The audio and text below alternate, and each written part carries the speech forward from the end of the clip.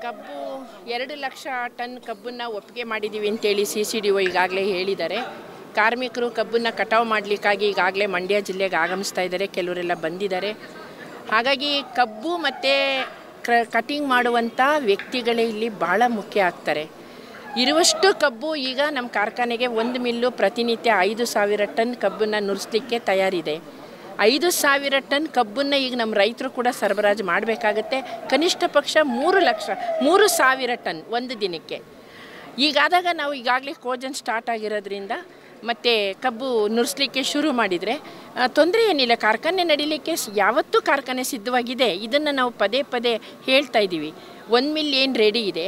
ಅದ್ರ ಜೊತೆಗೆ ಮತ್ತೊಂದು ಮಿಲ್ಲನ್ನು ಮತ್ತೆ ಹೊಸ್ದಾಗಿ ಮಾಡೋದಾದರೆ ಮಂಡ್ಯ ಮೈ ಶುಗರ್ ಗತ ವೈಭವಕ್ಕೆ ಮರಳೋದ್ರಲ್ಲಿ ಯಾವ ಸಂಶಯವೂ ಇಲ್ಲ. ಮೇಡಮ್ ಈಗ ಕಾರ್ಖಾನೆ ಸಿದ್ಧವಾಗಿದೆ ಕಬ್ಬನ್ನ ನುರಿಲಿಕ್ಕೆ. ಆದ್ರೆ ಕಬ್ಬೇ ಇಲ್ಲ ಅಂತ ಇಲ್ಲಿ ಪ್ರಶ್ನೆ ಈಗ ಕಬ್ಬಿಲ್ಲ ಅಂತ ಹೇಳಿ ಕಬ್ಬಿದೆ.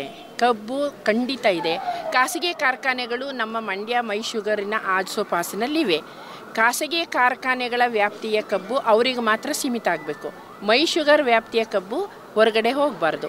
ಇರುವ ಕಬ್ಬು ತತ್ಕ್ಷಣಕ್ಕಂತೂ ನಮ್ಮ ಕಾರ್ಖಾನೆ ನುರಿಸಲಿಕ್ಕೆ ತೊಂದರೆ ಇಲ್ಲ. ಅದು ಆದ್ಯತೆ ಮೇಲೆ ಯಾವ ಕಬ್ಬಿಗೆ ಸರಿಯಾದಂಥ ವಯಸ್ಸಾಗಿದೆ, ಹನ್ನೆರಡು ತಿಂಗಳು ಕಳೆದಿದೆ, ಆ ಕಬ್ಬನ್ನು ಆದ್ಯತೆ ಮೇಲೆ ಅರಿತಾ ಬರಬೇಕು.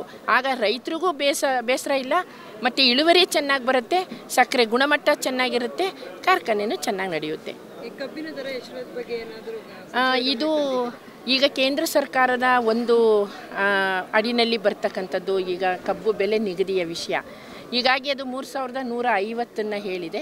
ಅದು ರಿಕವರಿ ಆಧಾರದ ಮೇಲೆ ಒಂದು ಹತ್ತು ರೂಪಾಯಿ, ಇಪ್ಪತ್ತು ರೂಪಾಯಿಗೆ ವ್ಯತ್ಯಾಸ ಬರಬಹುದಷ್ಟೇ.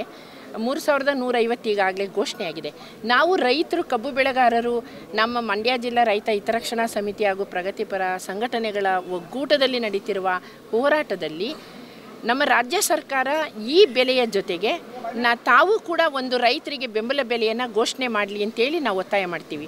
ಕಾರ್ಖಾನೆ ಶುರುವಾಗುವ ಮೊದಲೇ ಬೆಲೆ ನಿಗದಿಯ ಸಭೆ ಆಗಬೇಕಿತ್ತು. ಇತ್ತೀಚೆಗೆ ಆ ವಿಷಯವನ್ನೇ ಕೈಬಿಟ್ಬಿಟ್ಟಿದೆ ಸರ್ಕಾರಗಳು. ಹಾಗಾಗಿ ಈಗ ತಾನೇ ನಾನು ಸಚಿವರ ಜೊತೆ ಅದೇ ಮಾತು ಹೇಳಿದ್ದೀನಿ. ಬೆಲೆ ಬಗ್ಗೆ ಮತ್ತು ಕಾರ್ಖಾನೆಗೆ ಮತ್ತೊಂದು ಮಿಲ್ಲನ್ನು ಅಳವಡಿಸಿ ಅದನ್ನು ಆಧುನಿಕ ಸ್ಪರ್ಶವನ್ನು ಕಾರ್ಖಾನೆಗೆ ಕೊಡುವ ಬಗ್ಗೆ ಎಲ್ಲ ಮಾತಾಡಿದ್ದೀವಿ ಈಗ ರೈತ ಬಾಂಧವರೆಲ್ಲ.